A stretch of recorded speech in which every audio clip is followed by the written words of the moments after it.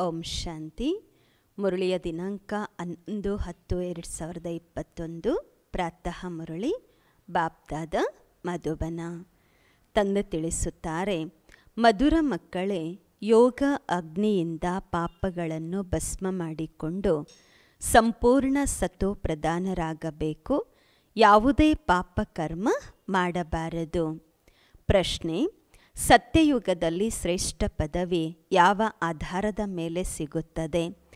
ಮತ್ತು ಇಲ್ಲಿನ ಯಾವ ಕಾಯಿದೆ ಅಥವಾ ನಿಯಮಗಳನ್ನು ಎಲ್ಲರಿಗೂ ತಿಳಿಸಬೇಕು? ಉತ್ತರ, ಸತ್ಯಯುಗದಲ್ಲಿ ಪವಿತ್ರತೆಯ ಆಧಾರದ ಮೇಲೆ ಶ್ರೇಷ್ಠ ಪದವಿ ಸಿಗುತ್ತದೆ. ಯಾರು ಪವಿತ್ರತೆಯನ್ನು ಕಡಿಮೆ ಧಾರಣೆ ಮಾಡಿಕೊಳ್ಳುತ್ತಾರೆ, ಅವರು ಸತ್ಯಯುಗದಲ್ಲಿ ತಡವಾಗಿ ಬರುತ್ತಾರೆ ಮತ್ತು ಕಡಿಮೆ ಪದವಿ ಪಡೆಯುತ್ತಾರೆ. ಇಲ್ಲಿ ಯಾರೇ ಬರಲಿ ಅವರಿಗೆ ಈ ನಿಯಮವನ್ನು ಕಾನೂನನ್ನು ತಿಳಿಸಿರಿ. ದಾನ ಕೊಟ್ಟರೆ ಗ್ರಹಣ ಬಿಟ್ಟು ಹೋಗುವುದು. ಪಂಚವಿಕಾರಗಳ ದಾನ ಮಾಡಿ, ಆಗ ನೀವು ಹದಿನಾರು ಕಲಾ ಸಂಪೂರ್ಣರಾಗುತ್ತೀರಾ. ನೀವು ಮಕ್ಕಳು ಸಹ ತಮ್ಮ ಹೃದಯದಿಂದ ಕೇಳಿಕೊಳ್ಳಿ, ನನ್ನಲ್ಲಿ ಯಾವುದೇ ವಿಕಾರ ಇಲ್ಲವಾ? ಓಂ ಶಾಂತಿ. ಆತ್ಮಿಕ ತಂದೆ ಆತ್ಮಿಕ ಮಕ್ಕಳಿಗೆ ತಿಳಿಸುತ್ತಾರೆ. ಈಗ ಸ್ವರ್ಗದ ಸ್ಥಾಪನೆಯಾಗುತ್ತಿದೆ. ಐದು ಸಾವಿರ ವರ್ಷಗಳ ಮೊದಲು ಸಹ ಭಾರತದಲ್ಲಿ ಸ್ವರ್ಗವಿತ್ತು.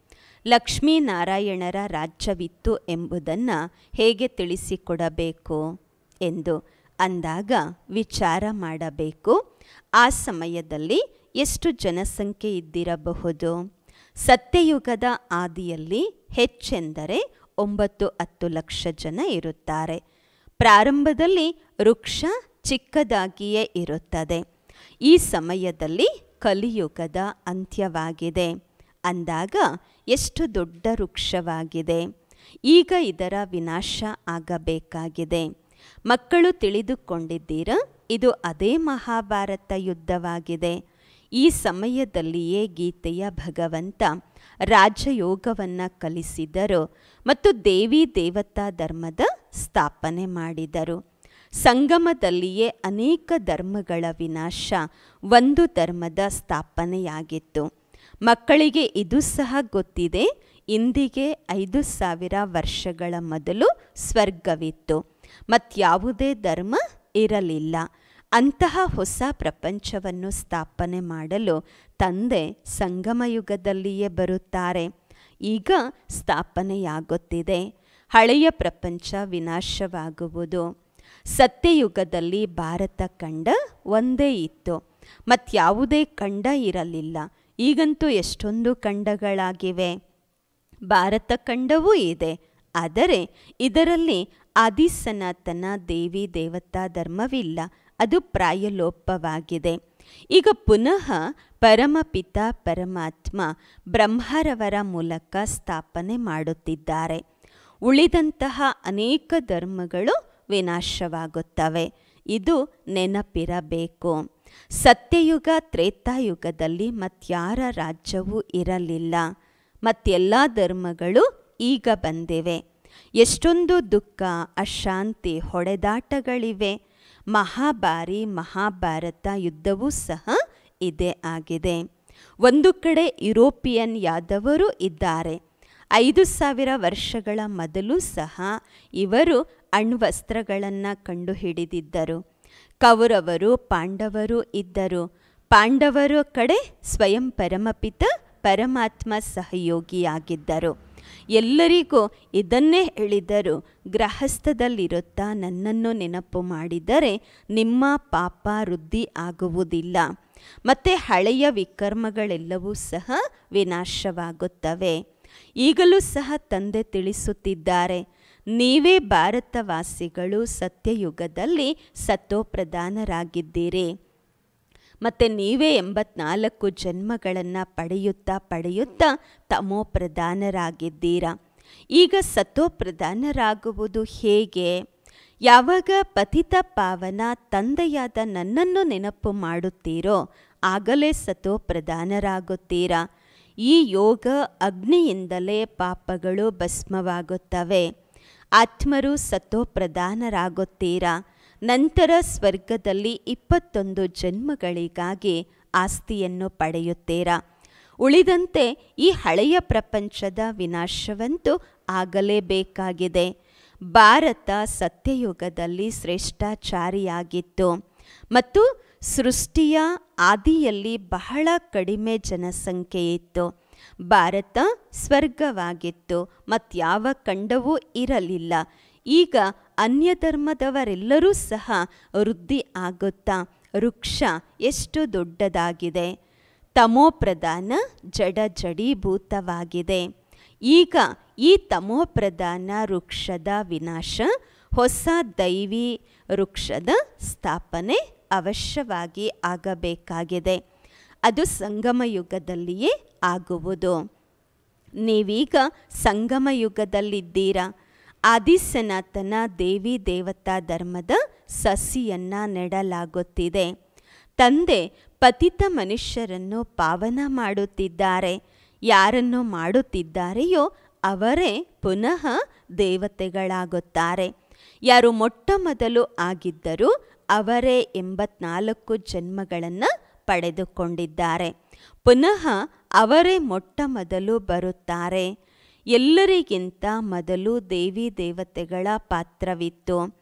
ಅವರೇ ಮೊದಲು ಅಗಲಿದ್ದಾರೆ, ಮತ್ತೆ ಅವರದೇ ಪಾತ್ರ ಇರಬೇಕು ಅಲ್ವಾ? ಸತ್ಯಯುಗದಲ್ಲಿ ಸರ್ವಗುಣ ಸಂಪನ್ನರು, ಮರ್ಯಾದಾ ಪುರುಷೋತ್ತಮರು, ಅಹಿಂಸಾ ಪರಮೋಧರ್ಮಿಗಳಾಗಿರುತ್ತಾರೆ ಈಗ ವಿಕಾರಿ ಪ್ರಪಂಚವಾಗಿದೆ. ಇವೆರಡರಲ್ಲಿ ಹಗಲು ರಾತ್ರಿಯಷ್ಟು ಅಂತರವಿದೆ. ಈಗ ವಿಕಾರಿ ಪ್ರಪಂಚವನ್ನು ನಿರ್ವಿಕಾರಿ ಪ್ರಪಂಚವನ್ನಾಗಿ ಯಾರು ಮಾಡುತ್ತಾರೆ? ಏ ಪತಿತ ಪಾವನ, ಬನ್ನಿ ಎಂದು ಯಾರನ್ನು ಕರೆಯುತ್ತಾರೆಯೋ ಆ ತಂದೆಯೇ ಈಗ ಬಂದಿದ್ದಾರೆ. ತಂದೆ ತಿಳಿಸುತ್ತಾರೆ, ನಾನು ನಿಮ್ಮನ್ನು ನಿರ್ವಿಕಾರಿಗಳನ್ನಾಗಿ ಮಾಡುತ್ತಿದ್ದೇನೆ. ಈ ವಿಕಾರಿ ಪ್ರಪಂಚದ ವಿನಾಶಕ್ಕಾಗಿ ಯುದ್ಧವೂ ಆಗಬೇಕಾಗಿದೆ. ಎಲ್ಲರೂ ಸೇರಿ ಒಂದಾಗುವುದು ಹೇಗೆ ಎಂದು ಅವರು ಹೇಳುತ್ತಾರೆ. ಏಕೆಂದರೆ ಈಗ ಅನೇಕ ಮತಗಳಿವೆ ಅಲ್ವಾ? ಇಷ್ಟು ಅನೇಕ ಮತ ಮತಾಂತರಗಳ ನಡುವೆ ಒಂದು ಧರ್ಮದ ಮತವನ್ನು ಯಾರು ಸ್ಥಾಪನೆ ಮಾಡುವರು? ತಂದೆ ತಿಳಿಸುತ್ತಾರೆ, ಈಗ ಒಂದು ಮತದ ಸ್ಥಾಪನೆ ಆಗುತ್ತಿದೆ, ಬಾಕಿಯೆಲ್ಲ ವಿನಾಶವಾಗುವುದು. ಯಾವ ಆದಿಸನಾತನ ದೇವಿ ದೇವತಾ ಧರ್ಮದವರು ಪಾವನರಾಗಿದ್ದರೋ ಅವರೇ ಎಂಬತ್ನಾಲ್ಕು ಜನ್ಮಗಳನ್ನು ಪಡೆದು ಪತಿತರಾಗಿದ್ದಾರೆ. ಪುನಃ ತಂದೆ ಬಂದು ಭಾರತವಾಸಿಗಳಿಗೆ ಸ್ವರ್ಗದ ಆಸ್ತಿಯನ್ನು ಕೊಡುತ್ತಿದ್ದಾರೆ. ಅಂದರೆ ಅರ್ಥ, ಅಸುರರಿಂದ ದೇವತೆಗಳನ್ನಾಗಿ ಮಾಡುತ್ತಿದ್ದಾರೆ. ನೀವು ಇದನ್ನು ಯಾರಿಗಾದರೂ ತಿಳಿಸಬಹುದು. ತಂದೆ ಹೇಳುತ್ತಾರೆ, ನನ್ನನ್ನು ನೆನಪು ಮಾಡಿದರೆ ನೀವು ಪತಿತರಿಂದ ಪಾವನರಾಗುತ್ತೀರಾ? ನೀವೀಗ ಜ್ಞಾನ ಚಿತೆಯ ಮೇಲೆ ಕುಳಿತುಕೊಳ್ಳಿ. ಚಿತೆಯ ಮೇಲೆ ಕುಳಿತುಕೊಳ್ಳುವುದರಿಂದ ಪಾವನರಾಗುತ್ತೀರಾ ಜ್ಞಾನ ಚಿತೆಯ ಮೇಲೆ? ನಂತರ ದ್ವಾಪರದಲ್ಲಿ ರಾವಣ ರಾಜ್ಯವಾಗುವ ಕಾರಣ ಕಾಮಚಿತೆಯ ಮೇಲೆ ಕುಳಿತುಕೊಳ್ಳುತ್ತಾ ಕುಳಿತುಕೊಳ್ಳುತ್ತಾ ಭ್ರಷ್ಟಾಚಾರಿ ಪ್ರಪಂಚವಾಗಿದೆ. ಇಂದಿಗೆ ಐದು ಸಾವಿರ ವರ್ಷಗಳಿಗೆ ಮೊದಲು ದೇವಿ ದೇವತೆಗಳಿದ್ದರು. ಕಡಿಮೆ ಜನಸಂಖ್ಯೆ ಇತ್ತು. ಈಗಂತೂ ಎಷ್ಟು ಹಸುರರಾಗಿದ್ದಾರೆ. ಅನ್ಯ ಧರ್ಮದವರು ಸೇರುತ್ತಾ ವೃಕ್ಷ ಎಷ್ಟು ವಿಸ್ತಾರವಾಗಿದೆ. ತಂದೆ ತಿಳಿಸುತ್ತಾರೆ, ಮಕ್ಕಳೇ, ವೃಕ್ಷ ಈಗ ಜಡಜಡೀಭೂತವಾಗಿದೆ. ಪುನಃ ನಾನು ಏಕಮತದ ರಾಜ್ಯವನ್ನು ಸ್ಥಾಪಿಸುತ್ತೇನೆ. ಒಂದು ಧರ್ಮದಲ್ಲಿ ಏಕಮತವಿರಲಿ ಎಂದು ಭಾರತವಾಸಿಗಳು ಹೇಳುತ್ತಾರೆ. ಸತ್ಯಯುಗದಲ್ಲಿ ಒಂದೇ ಧರ್ಮವಿತ್ತು ಎಂಬುದು ಎಲ್ಲರೂ ಮರೆತು ಹೋಗಿದ್ದಾರೆ. ಇಲ್ಲಂತೂ ಅನೇಕ ಧರ್ಮಗಳಿವೆ. ಈಗ ತಂದೆ ಬಂದು ಪುನಃ ಒಂದು ಧರ್ಮವನ್ನು ಸ್ಥಾಪನೆ ಮಾಡುತ್ತಿದ್ದಾರೆ. ನೀವು ಮಕ್ಕಳು ರಾಜಯೋಗವನ್ನು ಕಲಿಯುತ್ತಿದ್ದೀರಾ? ಅವಶ್ಯವಾಗಿ ಭಗವಂತನೇ ರಾಜಯೋಗವನ್ನು ಕಲಿಸುತ್ತಾರೆ. ಇದು ಯಾರಿಗೂ ಗೊತ್ತಿಲ್ಲ. ಯಾರಾದರೂ ಪ್ರದರ್ಶನಿಯ ಉದ್ಘಾಟನೆ ಮಾಡಲು ಬಂದರೆ ನೀವು ಹೇಳಿ, ಇದರ ಉದ್ಘಾಟನೆ ಮಾಡುತ್ತೀರಾ? ತಂದೆ ಈ ಭಾರತವನ್ನು ಸ್ವರ್ಗವನ್ನಾಗಿ ಮಾಡುತ್ತಿದ್ದಾರೆ. ಬಾಕಿ ನರಕವಾಸಿಗಳೆಲ್ಲರೂ ವಿನಾಶವಾಗುತ್ತಾರೆ. ವಿನಾಶಕ್ಕೆ ಮೊದಲು ಯಾರು ತಂದೆಯಿಂದ ಆಸ್ತಿ ಪಡೆದುಕೊಳ್ಳುತ್ತಾರೋ ಅವರು ಬಂದು ಪಡೆದುಕೊಳ್ಳಿ. ಈ ಜ್ಞಾನವನ್ನು ತಿಳಿದುಕೊಳ್ಳಿ. ಇದು ಬ್ರಹ್ಮ ಕುಮಾರ ಕುಮಾರಿಯರ ಆಶ್ರಮವಾಗಿದೆ. ಇಲ್ಲಿ ಏಳು ದಿನಗಳ ಕೋರ್ಸನ್ನು ತೆಗೆದುಕೊಳ್ಳಬೇಕಾಗಿದೆ. ಇದರಿಂದ ಪಂಚವಿಕಾರಗಳು ಬಿಟ್ಟು ಹೋಗುತ್ತವೆ. ದೇವತೆಗಳಲ್ಲಿ ಈ ಪಂಚವಿಕಾರಗಳು ಇರುವುದಿಲ್ಲ. ಇಲ್ಲಿ ಪಂಚವಿಕಾರಗಳ ದಾನವನ್ನು ಮಾಡಬೇಕಾಗಿದೆ. ಆಗಲೇ ಗ್ರಹಣ ಬಿಟ್ಟು ಹೋಗುವುದು. ದಾನ ಕೊಟ್ಟರೆ ಗ್ರಹಣ ಬಿಡುವುದು. ಮತ್ತೆ ನೀವು ಹದಿನಾರು ಕಲಾ ಸಂಪೂರ್ಣರಾಗುತ್ತೀರಾ? ಭಾರತ ಸತ್ಯಯುಗದಲ್ಲಿ ಹದಿನಾರು ಕಲಾ ಸಂಪೂರ್ಣವಾಗಿತ್ತು. ಈಗ ಯಾವುದೇ ಕಲೆ ಇಲ್ಲ. ಎಲ್ಲರೂ ಕಂಗಾಲಾಗಿದ್ದಾರೆ. ಯಾರಾದರೂ ಉದ್ಘಾಟನೆ ಮಾಡಲು ಬಂದರೆ ಅವರಿಗೆ ತಿಳಿಸಿ. ಇಲ್ಲಿಯ ಕಾಯಿದೆ ಇದೆ. ತಂದೆ ತಿಳಿಸುತ್ತಾರೆ, ಪಂಚವಿಕಾರಗಳ ದಾನ ಕೊಟ್ಟರೆ ಗ್ರಹಣ ಬಿಟ್ಟು ಹೋಗುವುದು. ನೀವು ಹದಿನಾರು ಕಲಾ ಸಂಪೂರ್ಣರು ದೇವತೆಗಳಾಗುತ್ತೀರಾ? ಪವಿತ್ರತೆಯ ಅನುಗುಣವಾಗಿ ಪದವಿಯನ್ನು ಪಡೆಯುತ್ತಾರೆ. ಒಂದು ವೇಳೆ ಯಾವುದಾದರೊಂದು ಕಲೆ ಕಡಿಮೆ ಆಯಿತೆಂದರೆ ತಡವಾಗಿ ಜನ್ಮ ಪಡೆಯುತ್ತಾರೆ. ವಿಕಾರಗಳ ದಾನ ಕೊಡುವುದು ಒಳ್ಳೆಯದಲ್ವಾ? ಚಂದ್ರನಿಗೆ ಗ್ರಹಣ ಹಿಡಿದರೆ ಮೊದಲು ಬ್ರಾಹ್ಮಣರು ದಾನ ಪಡೆಯುತ್ತಿದ್ದರು. ಈಗಂತೂ ಬ್ರಾಹ್ಮಣರು ದೊಡ್ಡ ದೊಡ್ಡ ವ್ಯಕ್ತಿಗಳಾಗಿದ್ದಾರೆ. ಪಾಪ ಬಡವರು ಭಿಕ್ಷೆ ಬೇಡುತ್ತಿರುತ್ತಾರೆ. ಹಳೆಯ ವಸ್ತ್ರಗಳು ಇತ್ಯಾದಿ ಪಡೆದುಕೊಳ್ಳುತ್ತಿರುತ್ತಾರೆ. ವಾಸ್ತವದಲ್ಲಿ ಬ್ರಾಹ್ಮಣರು ಹಳೆಯ ವಸ್ತ್ರಗಳನ್ನು ತೆಗೆದುಕೊಳ್ಳುವುದಿಲ್ಲ. ಅವರಿಗೆ ಹೊಸದನ್ನು ಕೊಡಲಾಗುವುದು. ಆದ್ದರಿಂದ ಈಗ ನೀವು ತಿಳಿಸುತ್ತೀರಾ, ಭಾರತ ಹದಿನಾರು ಕಲಾ ಸಂಪೂರ್ಣವಾಗಿತ್ತು. ಈಗ ತಮೋ ಪ್ರಧಾನವಾಗಿದೆ ಪಂಚವಿಕಾರಗಳ ಗ್ರಹಣ ಹಿಡಿದಿದೆ. ಈಗ ನೀವು ಈ ಪಂಚವಿಕಾರಗಳನ್ನು ದಾನ ಮಾಡಿ, ಈ ಅಂತಿಮ ಜನ್ಮದಲ್ಲಿ ಪವಿತ್ರವಾಗಿ ಇರಿ ಆಗ ಹೊಸ ಪ್ರಪಂಚದ ಮಾಲೀಕರಾಗುತ್ತೀರಾ? ಸ್ವರ್ಗದಲ್ಲಿ ಕೆಲವರೇ ಇದ್ದರು, ನಂತರ ವೃದ್ಧಿಯಾಯಿತು. ಈಗಂತೂ ವಿನಾಶವೂ ಸಹ ಸನ್ಮುಖದಲ್ಲಿ ನಿಂತಿದೆ. ತಂದೆ ತಿಳಿಸುತ್ತಾರೆ, ಪಂಚವಿಕಾರಗಳ ದಾನ ಕೊಟ್ಟರೆ ಗ್ರಹಣ ಬಿಟ್ಟು ಹೋಗುವುದು. ನೀವೀಗ ಶ್ರೇಷ್ಠಾಚಾರಿಗಳಾಗಿ ಸ್ವರ್ಗದ ಸೂರ್ಯವಂಶಿ ರಾಜ್ಯವನ್ನು ಪಡೆದುಕೊಳ್ಳಬೇಕು. ಆದ್ದರಿಂದ ಭ್ರಷ್ಟಾಚಾರವನ್ನು ಬಿಡಬೇಕು. ಪಂಚವಿಕಾರಗಳ ದಾನ ಕೊಡಿ. ತಮ್ಮ ಹೃದಯದಿಂದ ಕೇಳಿಕೊಳ್ಳಿ, ನಾನು ಸರ್ವಗುಣ ಸಂಪನ್ನ ಸಂಪೂರ್ಣ ನಿರ್ವಿಕಾರಿ ಆಗಿದ್ದೇನೆಯ? ನಾರದನ ಉದಾಹರಣೆ ಇದೆ ಅಲ್ವಾ? ಒಂದು ವಿಕಾರವಿದ್ದರೂ ಸಹ ಲಕ್ಷ್ಮಿಯನ್ನು ವರಿಸಲು ಹೇಗೆ ಸಾಧ್ಯ? ಪ್ರಯತ್ನ ಮಾಡುತ್ತಾ ಇರಿ, ತುಕ್ಕಿಗೆ ಬೆಂಕಿ ಹಾಕುತ್ತಾ ಇರಿ, ಏನೆಲ್ಲ ವಿಕಾರಗಳಿದೆ, ಯೋಗದ ಅಗ್ನಿ ಹಚ್ತಾ ಇರಿ, ಸಮಾಪ್ತಿ ಮಾಡಿ, ಚಿನ್ನವನ್ನು ಬಟ್ಟೆಯಲ್ಲಿ ಹಾಕಿ ಕರಗಿಸುತ್ತಾರೆ. ಕರಗ್ತಾ ಕರಗ್ತಾ ಒಂದು ವೇಳೆ ಬೆಂಕಿ ತಣ್ಣಗಾದರೆ ತುಕ್ಕು ಬಿಡುವುದಿಲ್ಲ. ಆದ್ದರಿಂದ ತೀಕ್ಷ್ಣವಾದ ಬೆಂಕಿಯಲ್ಲಿ ಕರಗಿಸುತ್ತಾರೆ. ನಂತರ ಅದರಲ್ಲಿರುವಂತಹ ತುಕ್ಕು ಬಿಟ್ಟು ಹೋಗುವುದು. ತಂದೆ ತಿಳಿಸ್ಕೊಡುತ್ತಾರೆ, ಮಕ್ಕಳೇ, ವಿಕಾರದಲ್ಲಿ ಹೋಗಬೇಡಿ. ತೀವ್ರ ವೇಗದಿಂದ ಪುರುಷಾರ್ಥ ಮಾಡಿ. ಮೊದಲು ಪವಿತ್ರತೆಯ ಪ್ರತಿಜ್ಞೆ ಮಾಡಿ. ಬಾಬಾ, ತಾವು ಪಾವನರನ್ನಾಗಿ ಮಾಡಲು ಬಂದಿದ್ದೀರಾ? ನಾವು ಎಂದಿಗೂ ಸಹ ವಿಕಾರದಲ್ಲಿ ಹೋಗುವುದಿಲ್ಲ. ದೇಹಿ ಅಭಿಮಾನಿಗಳಾಗಿರುತ್ತೇವೆ. ತಂದೆ ನವಾತ್ಮರಿಗೆ ತಿಳಿಸುತ್ತಾರೆ, ಅವರು ಪರಮಾತ್ಮ ಆಗಿದ್ದಾರೆ. ನಾವು ಪತಿತರಾಗಿದ್ದೇವೆಂದು ತಿಳಿದುಕೊಂಡಿದ್ದೀರಾ? ಆತ್ಮನಲ್ಲಿಯೇ ಸಂಸ್ಕಾರವಿರುತ್ತದೆ. ನಿಮ್ಮ ತಂದೆಯಾದ ನಾನು ನೀವು ಆತ್ಮರ ಜೊತೆಗೆ ಮಾತನಾಡುತ್ತೇನೆ. ನಾನು ನಿಮ್ಮ ತಂದೆ ಪರಮಾತ್ಮ ಆಗಿದ್ದೇನೆ. ನಿಮ್ಮನ್ನು ಪಾವನರನ್ನಾಗಿ ಮಾಡಲು ಬಂದಿದ್ದೇನೆ ಎಂದು ಒಬ್ಬ ತಂದೆಯ ಹೊರತು ಮತ್ಯಾರು ಹೇಳಲು ಸಾಧ್ಯ? ನೀವು ಮೊಟ್ಟ ಮೊದಲು ಸತೋ ಪ್ರಧಾನರಾಗಿದ್ದೀರಿ, ನಂತರ ಸತೋ ರಶೋ ತಮೋನಲ್ಲಿ ಬಂದಿದ್ದೀರಾ? ತಮೋ ಪ್ರಧಾನರಾಗಿದ್ದೀರಾ? ಈ ಸಮಯದಲ್ಲಿ ಪಂಚತತ್ವಗಳು ಸಹ ತಮೋ ಪ್ರಧಾನವಾಗಿದೆ. ಆದ್ದರಿಂದ ದುಃಖ ಕೊಡುತ್ತವೆ. ಪ್ರತಿ ವಸ್ತು ದುಃಖ ಕೊಡುತ್ತದೆ. ಇದೇ ತತ್ವಗಳು ಸತೋ ಪ್ರಧಾನವಾದಾಗ ಸುಖ ಕೊಡುತ್ತವೆ. ಅದರ ಹೆಸರೇ ಸುಖಧಾಮವಾಗಿದೆ. ಇದು ದುಃಖಧಾಮವಾಗಿದೆ. ಸುಖಧಾಮ ಬೇಹದ್ದಿನ ತಂದೆಯ ಆಸ್ತಿಯಾಗಿದೆ. ದುಃಖಧಾಮ ರಾವಣನ ಆಸ್ತಿಯಾಗಿದೆ. ಈಗ ಎಷ್ಟೆಷ್ಟು ಶ್ರೀಮತದಂತೆ ನಡೆಯುತ್ತೀರಾ? ಅಷ್ಟು ಶ್ರೇಷ್ಠರಾಗುತ್ತೀರಾ? ಕಲ್ಪಕಲ್ಪವು ಇವರು ಇದೇ ರೀತಿ ಪುರುಷಾರ್ಥ ಮಾಡುತ್ತಾರೆಂದು ಪ್ರಸಿದ್ಧವಾಗುತ್ತೀರಾ? ಇದು ಕಲ್ಪಕಲ್ಪದ ಆಟವಾಗಿದೆ. ಯಾರು ಹೆಚ್ಚು ಪುರುಷಾರ್ಥ ಮಾಡುತ್ತಾರೆಯೋ ಅವರು ತಮ್ಮ ರಾಜ್ಯವನ್ನು ಪಡೆದುಕೊಳ್ಳುತ್ತಿದ್ದಾರೆ. ಸರಿಯಾಗಿ ಪುರುಷಾರ್ಥ ಮಾಡಲಿಲ್ಲವೆಂದರೆ ಕಡಿಮೆ ಪದವಿ, ಕನಿಷ್ಠ ದರ್ಜೆಯಲ್ಲಿ ಹೋಗುತ್ತಾರೆ. ಪ್ರಜೆಗಳಲ್ಲಿಯೂ ಕೂಡ ಯಾವ ಪದವಿಯನ್ನು ಪಡೆಯುತ್ತಾರೆ ಗೊತ್ತಿಲ್ಲ. ಲೌಕಿಕ ತಂದೆಯೂ ಸಹ ಹೇಳ್ತಾರೆ ಅಲ್ವಾ? ನೀವು ನನ್ನ ಹೆಸರನ್ನು ಹಾಳು ಮಾಡ್ತಿದ್ದೀರಾ, ಕೆಡಿಸ್ತಿದ್ದೀರಾ, ಮನೆಯಿಂದ ಹೊರ ಹೋಗಿ ಎಂದು ಅದೇ ರೀತಿ ಬೇಹದ್ದಿನ ತಂದೆಯೂ ಸಹ ಹೇಳ್ತಾರೆ, ನಿಮಗೆ ಮಾಯೆ ಇಂತಹ ಪೆಟ್ಟು ಬೀಳಿಸುತ್ತಿದೆ, ಪೆಟ್ಟು ಕೊಡುತ್ತಿದೆ. ಸೂರ್ಯವಂಶಿ, ಚಂದ್ರವಂಶೀಯರಲ್ಲಿ ನೀವು ಬರುವುದೇ ಇಲ್ಲ. ತಮಗೆ ತಾವೇ ಪೆಟ್ಟು ಕೊಟ್ಟುಕೊಳ್ಳುತ್ತೀರಾ? ತಂದೆಯಂತೂ ಹೇಳುತ್ತಾರೆ, ಮಕ್ಕಳೇ, ವಾರಸುದಾರರಾಗಿರಿ.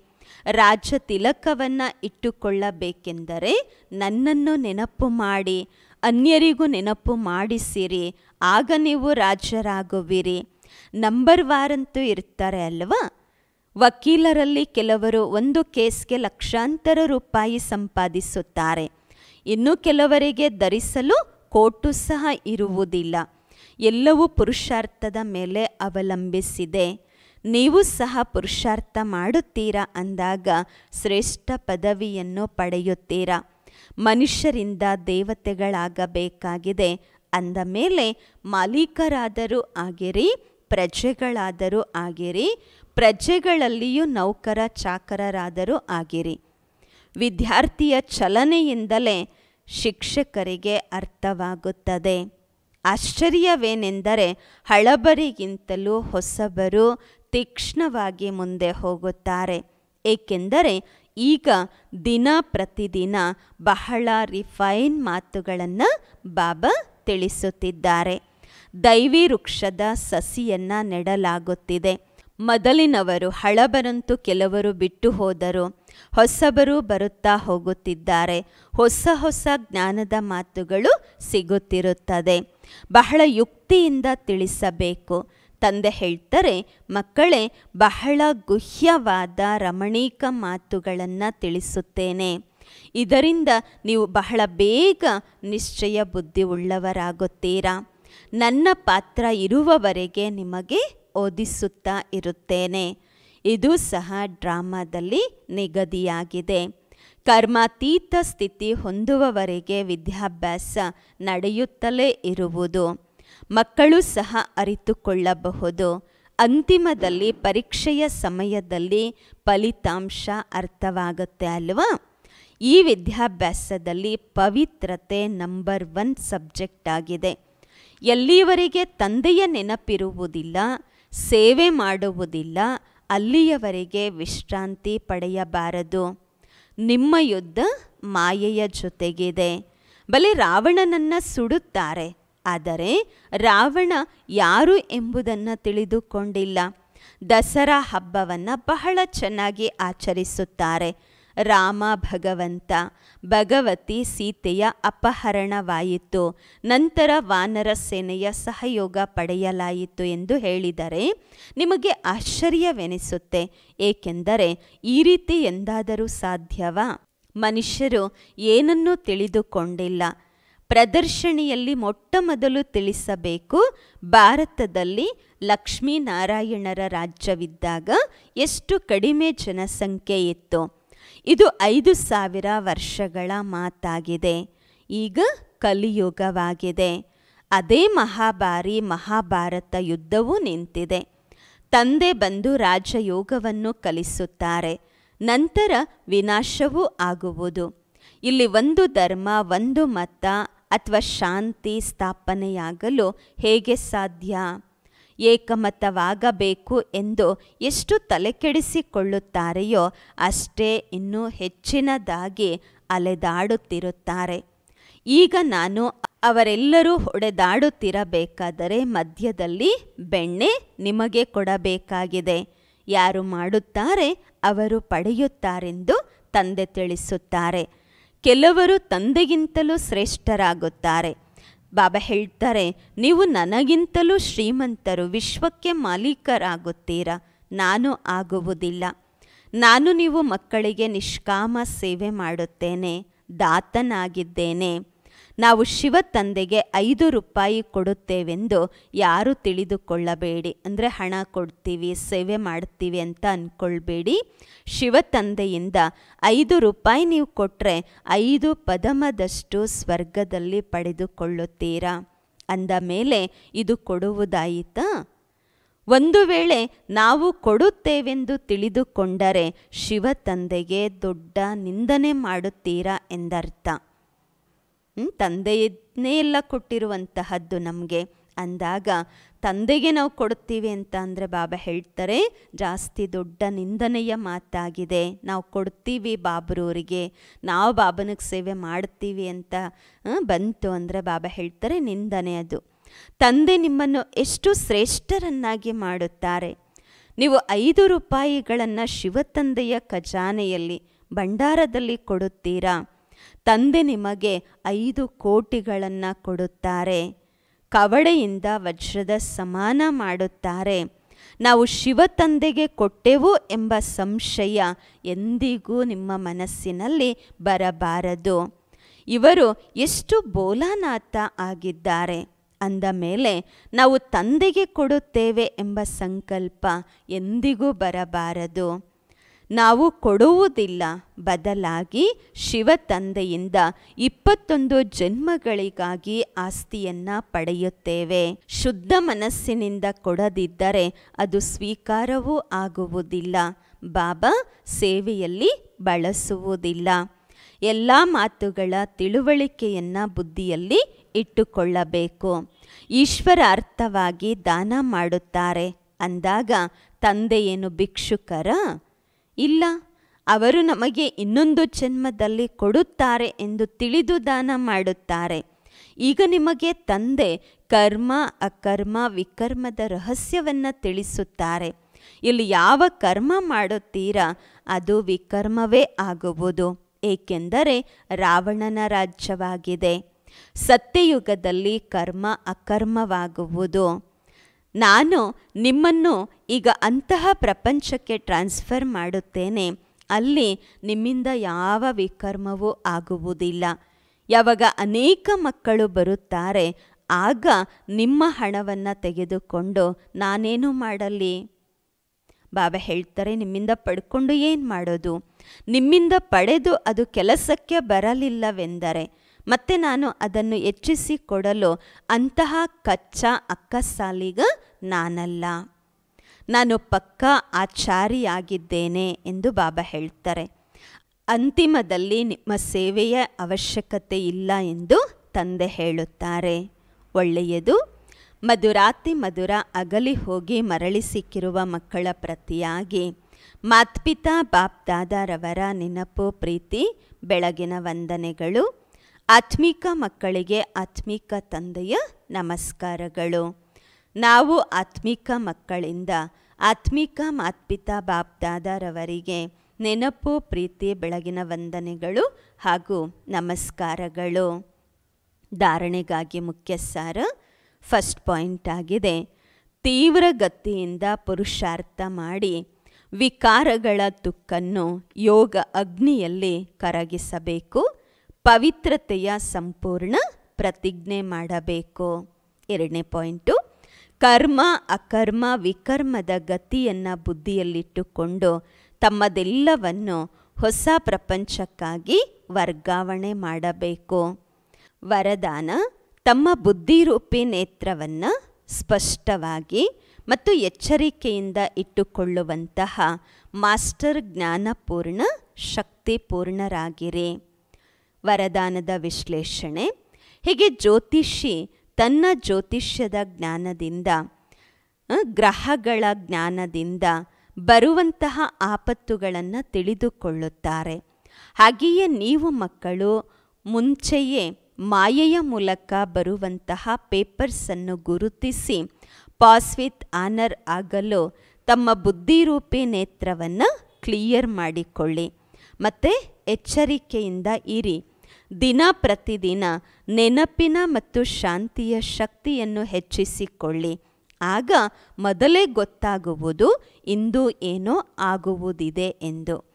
ಮಾಸ್ಟರ್ ಜ್ಞಾನಪೂರ್ಣರು ಶಕ್ತಿಪೂರ್ಣರಾದಾಗ ಎಂದಿಗೂ ಸೋಲು ಆಗುವುದಿಲ್ಲ. ಸ್ಲೋಗನ್, ಪವಿತ್ರತೆಯೇ ನವೀನತೆಯಾಗಿದೆ ಮತ್ತು ಇದೇ ಜ್ಞಾನದ ತಳಪಾಯವಾಗಿದೆ. ಓಂ ಶಾಂತಿ.